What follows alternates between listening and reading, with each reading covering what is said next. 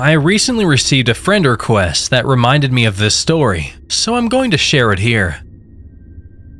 This happened after I went to university, so I was 18. I made an effort to make new friends after I moved onto campus, and ended up with a group of friends to hang out with, including a new girlfriend and plenty of people from my classes that I liked well enough. There was one class before lunch where it was traditional for people to go to the cafeteria afterwards, to eat in pairs or threes. I wasn't very discerning about who I'd have lunch with, because I got on fine with most people from the class, and we were all trying to make an effort to be social. So when one girl, Lily, asked if I wanted to eat lunch together after that class, I didn't have any reason not to go. We talked about school and that kind of thing, nothing noteworthy, but she did ask me to get lunch with her again the next week. It became a pattern, and there wasn't exactly a way to start saying no suddenly. It was fine, but it did mean I lost the chance to eat lunch with anyone else on those days. In hindsight, I suppose that was the point.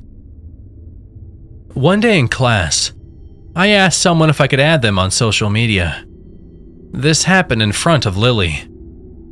I saw her face jerk towards me from a couple of seats over. It was such a sharp reaction that it was hard to ignore, and I still remember it. By the time I got home later that day, Lily had sent me a friend request. No friends in common. Don't know how she knew my last name. I was a bit surprised, but I guess she just dug through the university's social media pages and found me through there. It just gave me a really bad feeling, but surely it was fine.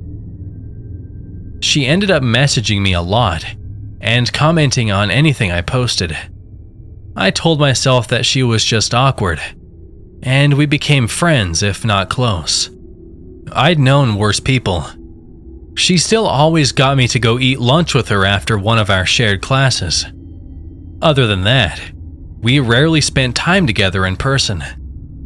I saw her around sometimes, but I never went out of my way to hang out with her. So it was mostly online messaging and seeing each other in group settings. Coincidentally, my girlfriend was also called Lily.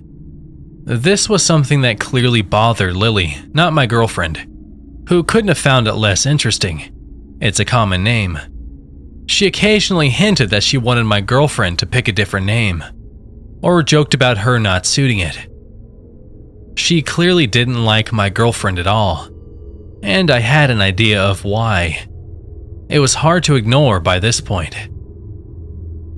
Lily was starting to unsubtly hint that she had a crush on me. I tried not to address it, because what was I going to say? I've never known what to do when a friend makes a pass at me. I was also not interested in the least, even ignoring the weird stuff she pulled. Lily was not my type at all. She tended to dress and act in a way somewhere between a 50s housewife and one of those adults who is still obsessed with Disney princesses. If you can picture that. Things took an uncomfortable turn on the day of our last shared class of the year. Instead of asking me to lunch like she usually did, Lily asked if I'd go for a walk with her. Again, I didn't exactly know how to refuse, so I said alright. Our campus was bordered by a large patch of woodland. Lily led me into the woods and the sounds of our fellow students slowly faded away. She sat down on a log and I joined her. She started talking about how she was going to miss me over the summer. I tried placating her, but I didn't want to be there, especially because she seemed almost on the verge of tears. I think I tried to make an excuse about having plans with my girlfriend. But before I could leave, Lily chose to kiss me without warning. It was uncomfortable to say the least. I got out of there and was happy to think I wouldn't see her for a while. I came back to university after the summer, moving into a house with my friends. Without going off topic, there were some serious issues in my friend group. A lot of petty arguing and worse. I broke up with my girlfriend around the start of that school year as well. And basically, the whole mess made me recontextualize things with Lily, because it suddenly didn't seem as bad. That said, I didn't want to be alone with her. We mostly talked online. She was still constantly messaging me, after all. One upside of everything was that I started dating a boy. Lily was not pleased to hear that news. I think she hoped to sneak in after I broke up with my girlfriend. But as I said before, that was never going to happen. There wasn't a big gap between my breakup and this new relationship. So she must have thought she missed her chance to be with me. This is where the story gets bad. At this time, I was fairly active on Tumblr. I occasionally talked about my life, and mostly reblogged photos and stuff. I was on there one day when something odd happened. One of the blogs I followed had received an ask with some phrases I recognized. It took a second to register that it was taken from my About page. That made me freeze. I read the message properly. Someone was asking this completely random person to analyze a section of text from my page, asking for their opinion on the type of person who would write it. I cannot stress how messed up it was to see people talking about me like I was a character in a book they were trying to study. The reply was basically, I don't know, sorry. But the important thing was that the question hadn't been anonymous. It linked to someone's blog. Obviously, I wanted to know who had taken such a bizarre interest in me. As far as I knew, no one in real life other than my boyfriend knew about my page. Well, no prizes for guessing who was behind it. What I found was like a shrine. She was using a fake name, but I recognized Lily all over that thing. It was this cutesy pink and red page. There were a few posts about her interests, but most of the content was focused on her primary interest me. Most of the posts were about me. There were accounts of things I'd done recently. He told me about such and such. He went to a nightclub recently, etc. As well as referencing to things from as far back as I'd known her. It was clear she'd been keeping tabs on me, both online and offline, gathering up every scrap of information she could about my life and hoarding it here in her collection. She talked about us eating lunch together and how special our dates had been to her, as if it was anything more than acquaintances getting food after class. She talked about the time she had forcibly kissed me in the woods, but she wrote it as if it had been mutual.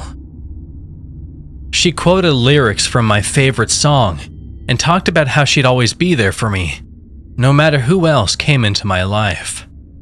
Lots of references to loving me just the way he is, which answered another mystery about an anonymous love letter I'd received earlier that year with the same wording. It got worse. There were a lot of posts about my boyfriend as well. These weren't so nice. They got vicious talking about how he didn't deserve me. He didn't know what he had. If she was with me, she'd be jealous of anyone else who came near me. So my boyfriend not being a jealous person meant he didn't love me. It was angry and hateful. I didn't like to think about the sort of person who could write so obsessively, being fixated on me. One thing that didn't make sense at first was that the blog almost made plenty of references to Lily's best friend, Stephen. She had never mentioned this person to me. Her posts talked a lot about Stephen and how great a friend he was, and how much fun they had together, how he looked out for her, etc. I was trying to work out whether this was an online friend, when one specific post made it all click. She posted a photo and captioned it with, Steven sent this to me. He knew I would like it and I love it. Or something like that. The problem was, the photo was taken from my own page. I hadn't sent it to her. She took it from my page and then claimed this fictional best friend of hers shared it with her, because in her head, she'd split me into two people. In her messed up fantasy life, I was both a perfect best friend who was always looking out for her, and her soulmate who was bound to end up with her when I finally got over my sweet, kind boyfriend and all that other easy girls I hung out with that she made dozens of posts complaining about. Who was she complaining to? Oh, Lily had an audience. She asked open questions about me and her relationship with me, and got messages back from her followers. People who took what she said at face value. I saw a bunch of people agreeing with this stalker that my boyfriend didn't deserve me and we were bound to break up soon so I could be with Lily, the person I was clearly supposed to be with. She had this fake fanfiction version of my life up for anyone to share their opinion on, and she'd made herself out to be the hero of it all. I went maybe a month back into this page's history. I did not look at everything that was there, it was too much. So I'm not sure how long this had been going on. I sent Lily a message confronting her about the blog. She said nothing. And I cannot stress how weird it was to have found pages and pages dedicated to me, with her talking about how she was in love with me and would make sure we ended up together, slamming my boyfriend and building a fantasy life with two different versions of me in it that she clearly believed to be real. Then acting like it hadn't happened she said nothing. She didn't address it, she just changed the subject. Even after I pushed. And it was like she hadn't even registered what I said. I've never seen anything else like it. She deleted the page, of course. Or at least changed the name and hid it so I never found it again. It wasn't the end, though. I wasn't going to hang out with her anymore but we were still shoved together in classes, and she had started to actually scare me with what she might do next. I'm kind of a paranoid person. Knowing someone was obsessively keeping track of me, for who knows how long, freaked me out. The next thing she pulled was trying to seduce my boyfriend. It was an absolutely useless attempt that only made him uncomfortable. He told me about it right away, what was her plan there? Did she hope to tell me he cheated and wait for me to break up with him? Why would I want her after that? When that didn't work out for her, she tried hitting on three of my other friends. None of them took the bait. She ended up dating one of my former housemates for a while, but made sure to send me messages while they were together, letting me know she'd rather be with me. No thanks. Lily made sure to stay in my life the whole time I was at university.